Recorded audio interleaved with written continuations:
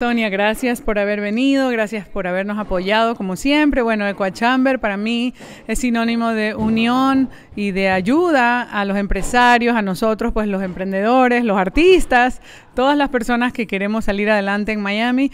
Eh, tenemos un punto de apoyo, tenemos una mano amiga, eso es lo que significa Equachamber. Y esta celebración de 35 años, imagínate, es como que un súper cumpleaños.